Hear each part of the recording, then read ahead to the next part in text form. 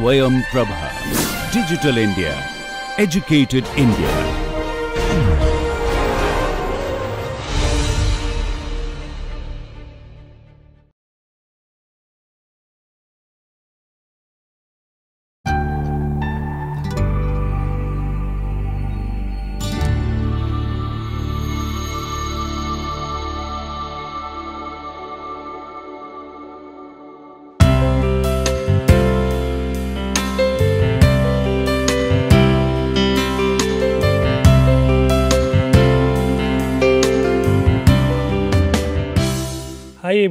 Welcome back again to the online NPTEL course on structure, form and architecture, the synergy.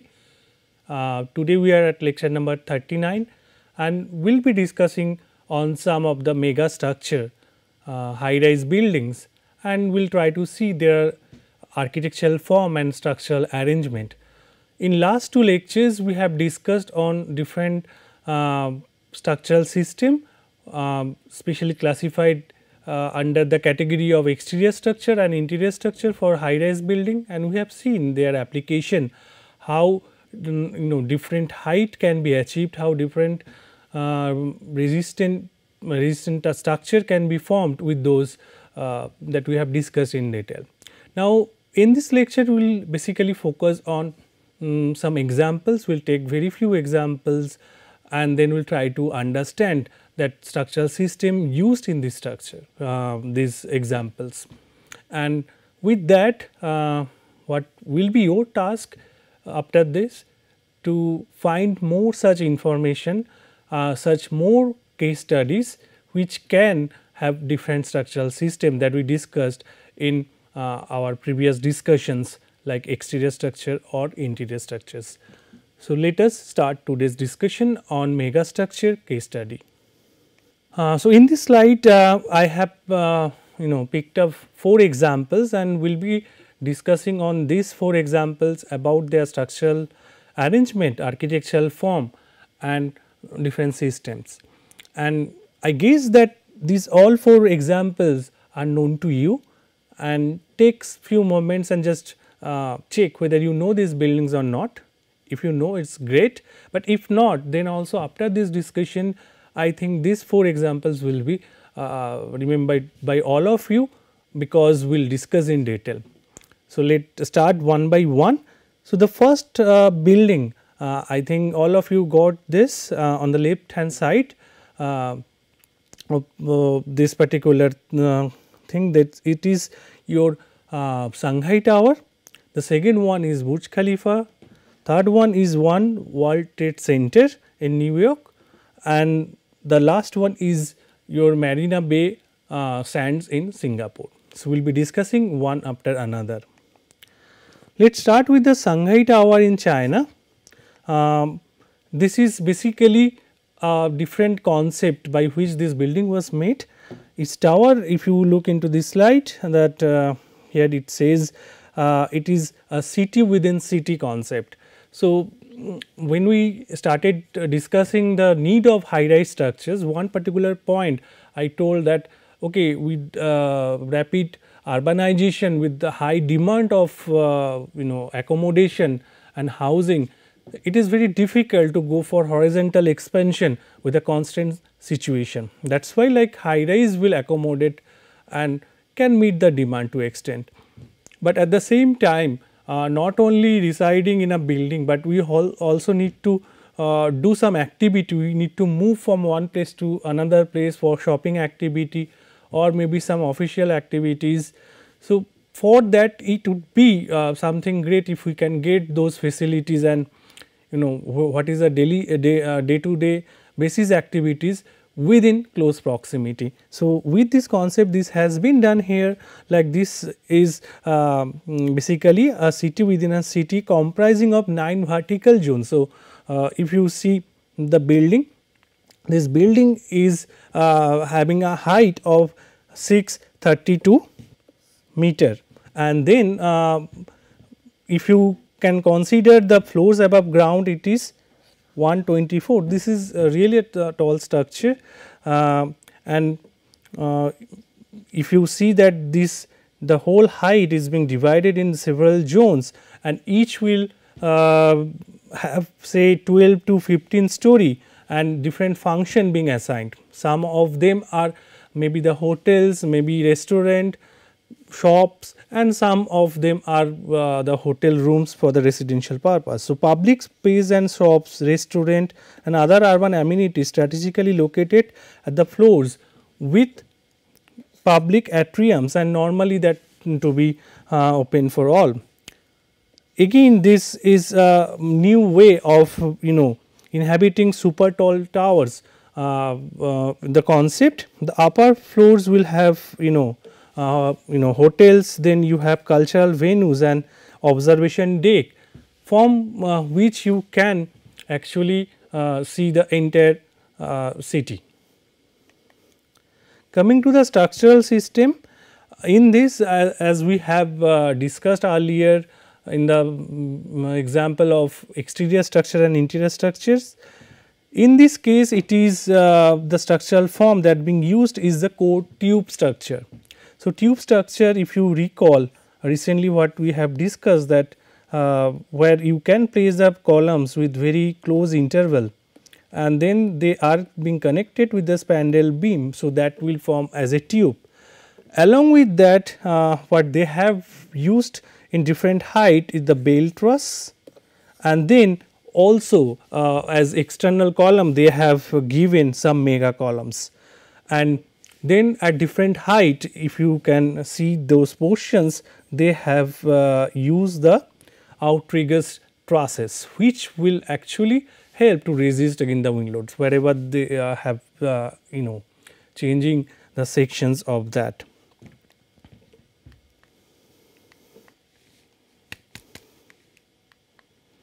Now, coming to the plan it is very simplistic uh, plan as we have discussed here in this core tube. So, this is basically the core I was talking about and how uh, it is being connected. So, this tube is uh, there at the core and then you have some mega columns which is running through and then at different height um, maybe at uh, with say um, 15 20 floors height. So, they have used the belt truss at this system which is making it strong. So, here you can see the under construction building where you can easily identify those areas where uh, you know those belt truss being used. Now, coming to the next example, uh, uh, before coming to this example, let also discuss the profile that building uh, it started with a larger cross section and then at certain height uh, the cross section also get reduced and this is basically to tackle the um, lateral load. So, basically when we discussed uh, the shape like um, a pyramid shape or conical shape which will have a better uh, um, performance against the wind load heavy wind load at the top and then reduction in mass at the upper story definitely help to make the structure more stable. So, in this uh, the combination of the tube, core tube, the shear wall tube and then the outrigger truss, some mega columns at different portion is really uh, making the structure uh, you know stable. Now, if I ask you a question that um, considering the plan, the structural arrangement, where we can fit this building, whether it is uh, your interior structure or exterior structure. Um, so, in judgment you have this uh, majority of the lateral load sharing portion is inside that core tube core. So, we may classify into interior structure, but at the same time uh, like we have some mega columns at uh, the exterior at the periphery. So, what would be the answer? So, what I want you to just give uh, the logic or what what you think that how we can classify or it is something new uh, kind of type where both can be given equal weightage. So, uh, I am expecting that kind of uh, feedback comment from your side. Coming to this example and definitely with uh, the set like all other buildings in this. So, this is really giving dominance and it is giving a feeling of standing alone or very strong um, appearance with this shell hood. So, Burj Khalifa it is in uh, Dubai. Now, in this case earlier also I have mentioned the concept has been taken a little bit from the bundle tube structure where we have uh, discussed some other examples where like uh, you have multiple tube um, bended together and then you just change the cross section at the top. But it is not exactly the bundle tube uh, here it is some modified uh, structure being used and a Y shape uh, building plan is being formed with a hexagonal core at the middle. So, this is also referred as the buttressed uh, core and this is having uh, one uh, major uh, implication that is this Y form of the plan that we will discuss we can see this plan. So, this Y form having a core hexagonal core it is not only giving a good stability with uh, three legs uh, kind of arrangement, but also it is maximizing the amount of perimeter. So, this is one of uh, the good uh, aerodynamic profile that we can have. This also allow when you set uh, your rooms at upper story in both the uh, you know in these wings we can refer these wings. So, we can place the rooms uh, on the corner. So, all can get some external view without really disturbing or without having uh, any disturbance to the privacy to the neighbor. So, this is one uh, form that where we can maximize the view, whereas in a Mm, uh, closed form structure if we take uh, something like this. So, if it is a double loaded corridor, so then definitely we cannot get a proper view for hotels.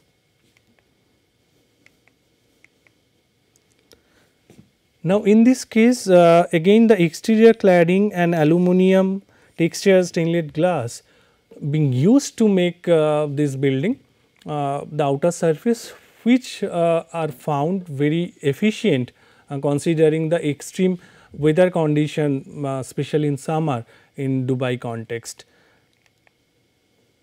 And here if you see that the floors above ground it is 163 uh, floors have been made and the total height is uh, 8 to 9. so, almost 830 meters wherever the architectural height is a little bit low uh, if you just have considered the habitable space. But in this the height occupied is only up to 585 meter.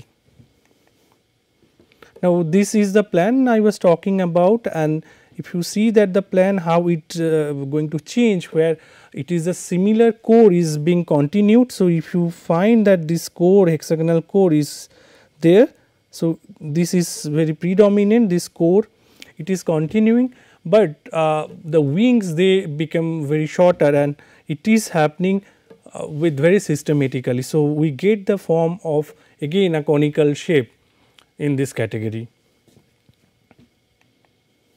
Now, this is a detailed view. So, what I was talking about this shear walls and this core is facilitating to get a better view for all all the hotels that being uh, all the you know uh, residential areas uh, very much you know attractive to get this view. So, this is Y shaped structure is called buttressed core with this. This is under construction building where you can see that the core is uh, being made here and the wing they are actually uh, under construction.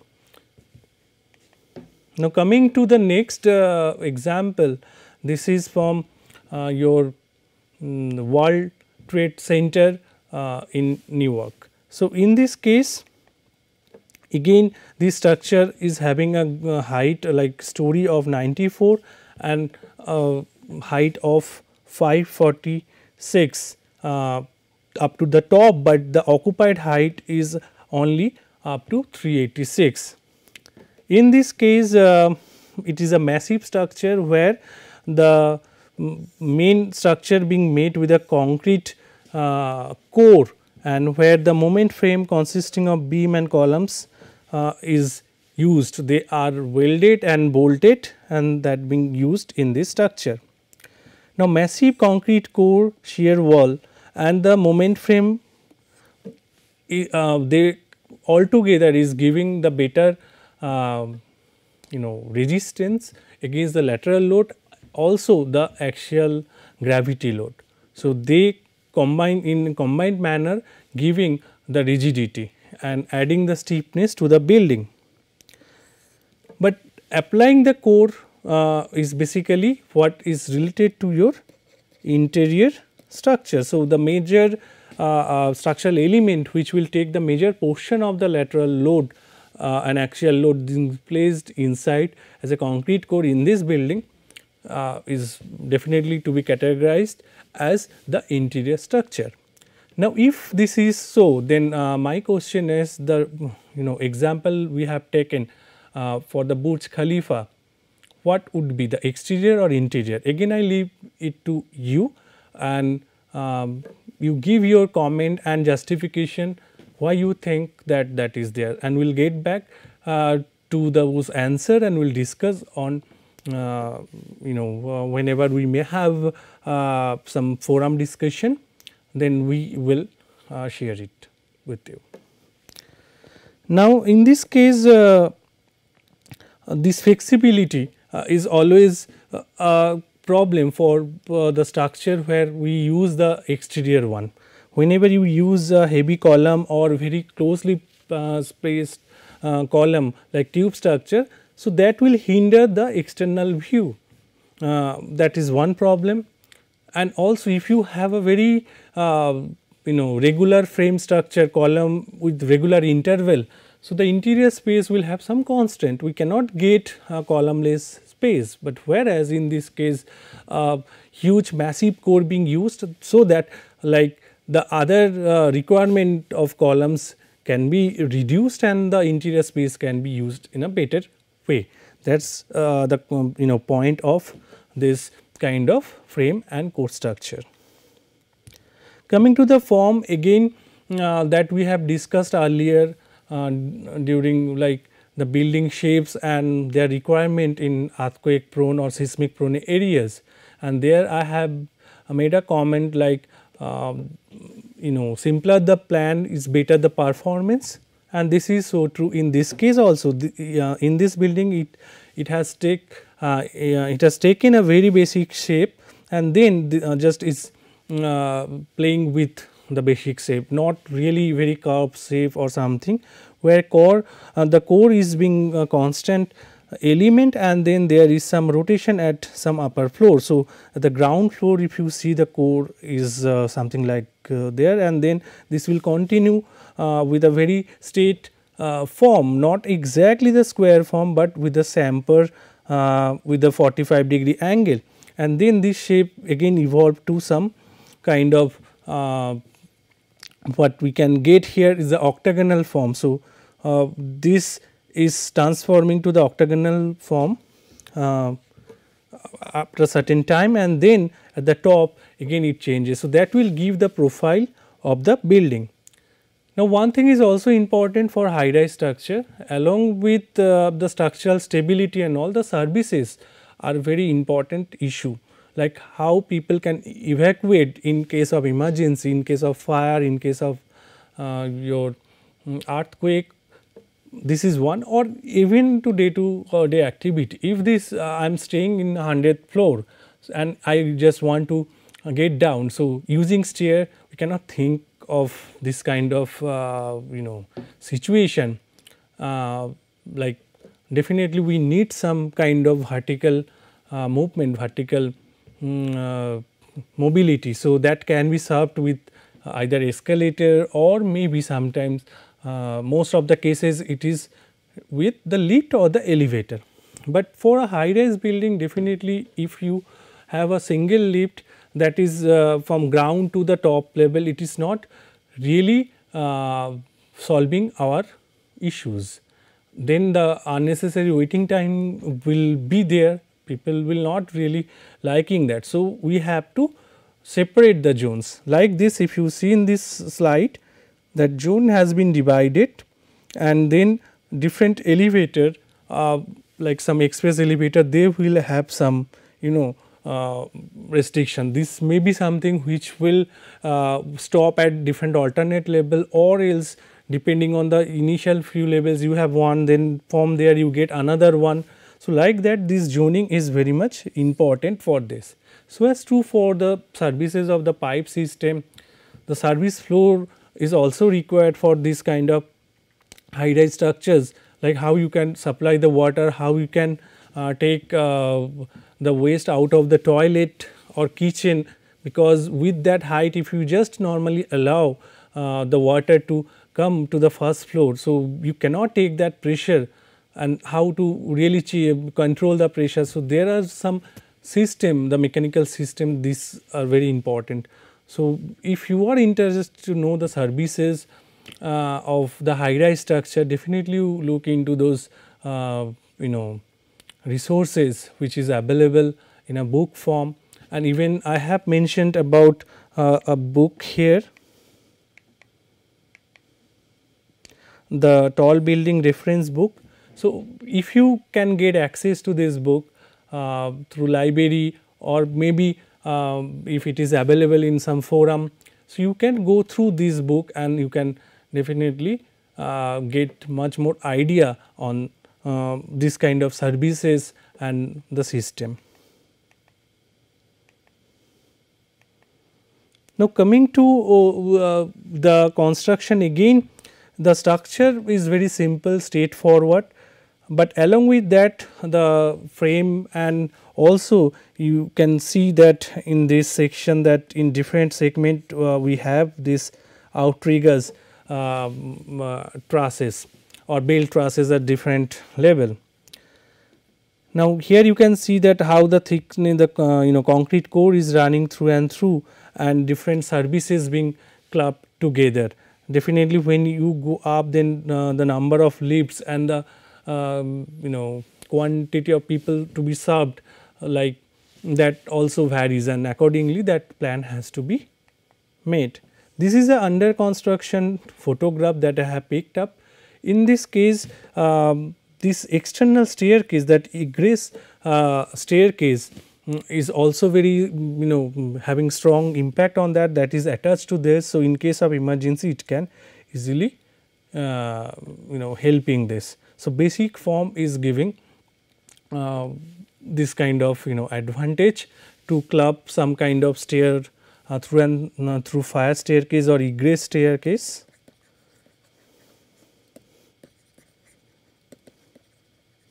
And helping the structure to perform in a better manner. With that moving to the last example uh, in this discussion that is your uh, Marina Bay Sand hotels in Singapore. So, this is very nice uh, photograph that um, like I have picked up uh, at least I liked it much so, where you can see that uh, three uh, structures multi-story building uh, it's holding another horizontal slab at some higher altitude. So, this is something where it is not like others where only one building has made with a you know high rise and then a core is designed. So, here it is something where at this height uh, means the challenges are very much uh, more uh, than compared to the single building where the system to be designed for the only single tower. Now, looking into the height, so this height is not that much compared to the other buildings that we have discussed today. So, the height is uh, around uh, you know uh, 200 meter that you can see and the floors again it is considered to be low and three towers they are, are looking identical and they are holding a particular slab at the top. Now, in this case uh, two converging slab of east and west facing rooms make up each tower. What exactly this is? So, uh, for that we need to require um, this particular section. So, this is one, this is another one and um, this can be uh, you know fixed uh, or this can stand separately, but in this case these two uh, slab they are making some arrangement like this okay, to giving the stability. So, this is like when we have discussed the racking shore. So, this kind of arrangement is uh, giving the stability to the tower. Now, two converging slab of east west facing room make up the each tower. Each tower slab form is also twisted slightly in relation to its pair. So, that it will give a dance like relationship that is the visual aesthetics uh, being done with this kind of arrangement. So, in order to stability we just uh, mm, make the arrangement like this uh, where the building is getting this shape and then also it will help to accentuating the slenderness of the building. So, that uh, in both the cases like it will give the stability as well as the beauty. Linking three towers as I already mentioned that was the challenge because this is not at the ground floor normally you know many buildings we get uh, the heavy base at the bottom and then you have the tower, but in this case it is at the top. So, this particular portion uh, to raise is and there is a portion of the cantilever. Um, so, that is definitely a good engineering that being made to create it. So, coming to the section already what we have discussed that again it is having uh, the frame structure and then uh, this is the cross section that uh, something like this if you want to see from this side. So, this is the profile where the structural arrangement is something like that it is not very straight. So, this is giving some stability to the structure. Coming to the plan again the plan is uh, simple. Yes, but it is not uh, exactly in a linear form. Uh, rather it is giving some kind of radial axis. And here you can see this is actually the top floor where different uh, you know water uh, swimming pool type water body being created. And then there are some roof gardening has been done, but if you see just the you know these towers, so you will get a very uh, symmetrical tower that being placed one after another is a very basic form that has been taken here and then uh, this uh, the upper slab is, is being placed on top of it. So, like that uh, in this case the building uh, height is not that much comparable to uh, the other examples I have taken and these are very few. Again I am saying so if you search of the tallest uh, mm, like tallest at 20 that I have also shown in the previous presentation um, when we discuss the evolution of structural system then you can find n number of list uh, there which are having like more than 100 story and like say for example Taipei uh, 101 you can mm, search or else you can go for the Petronas tower even some cases uh, you can get even higher and some of the buildings are under construction. But the last example I have included uh, purposefully to show the complexity it is not about uh, the tower also to hold this and that can be formed. So, here the basic idea to create this tower uh, where this lake uh, kind of form being created. So, this angle is giving some kind of extra stability to the structure. Now, coming to the summary, in this case uh, this is something where we have seen different structural system for uh, particular building. So, again if we just quickly look into this. So, when we discussed about the first example of the Shanghai tower, then where we have found that again the basic form uh, has been taken and then uh, the structural system has been designed with uh, a core and that core is tube core. So, we are talking about the Shanghai tower. Okay. And along with that there is some uh, you know mega columns at the periphery and then along with that we have some outriggers belt truss at different height. And the whole tower is being mm, like divided in different zone where different purposes different uh, you know activity like shopping then you, you have some restaurant then you have hotel. So this has been classified. And that is with the concept of city within city tower.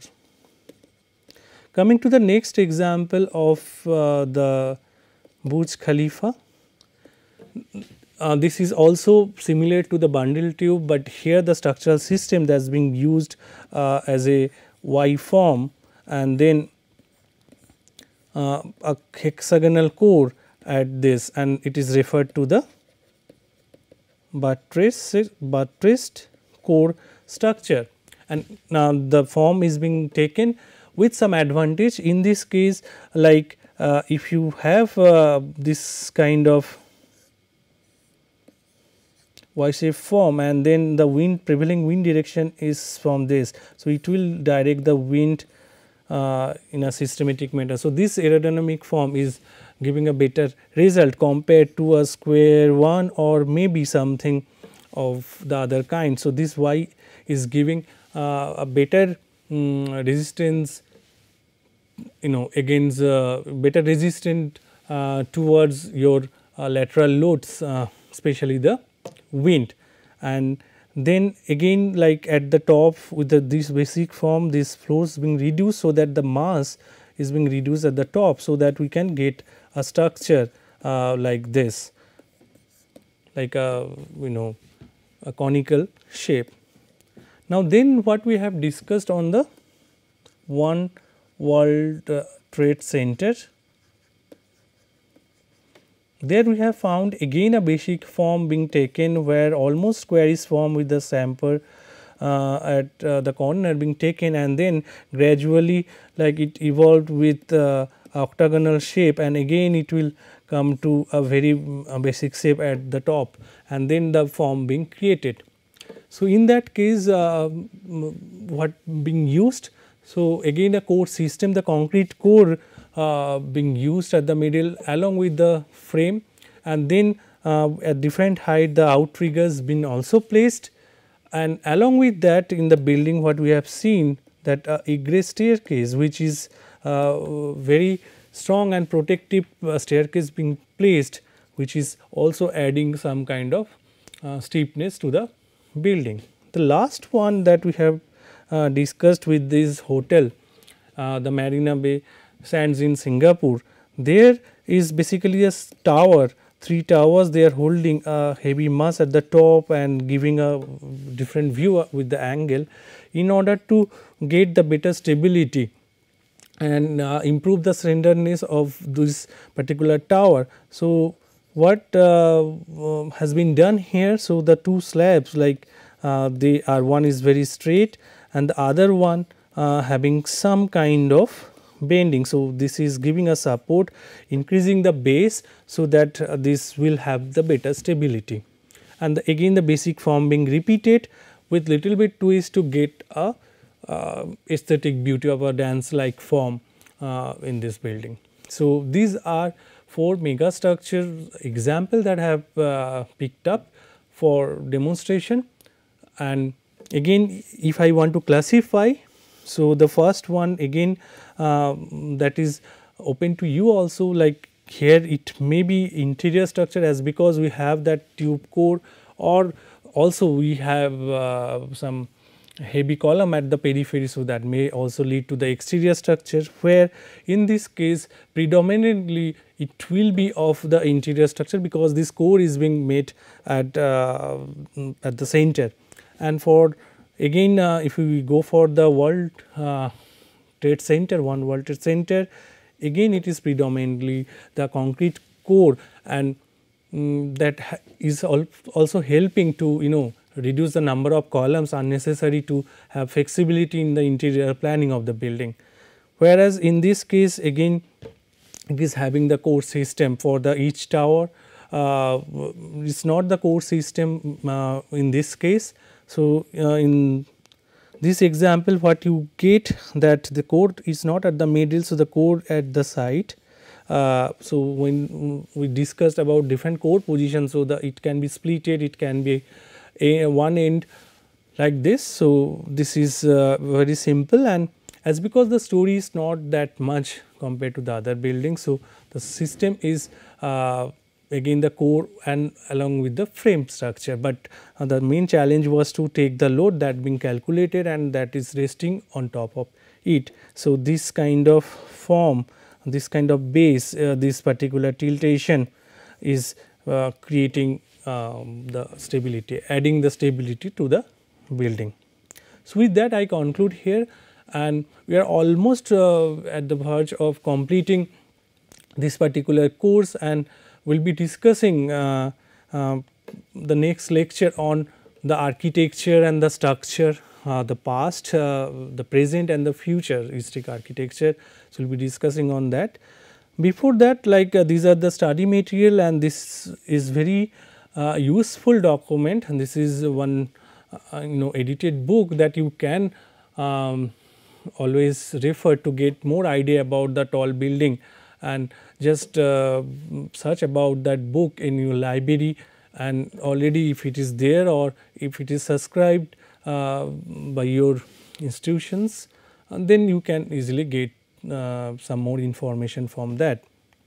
And we will be discussing we will be merging whatever the discussion that uh, we had over last uh, you know few weeks uh, we will be summarizing this and we will try to compare that what we actually you know have progressed from the primitive age with the stone Stonehenge to the modern uh, architecture and again the futuristic architecture of you know very high end applying very high end engineering.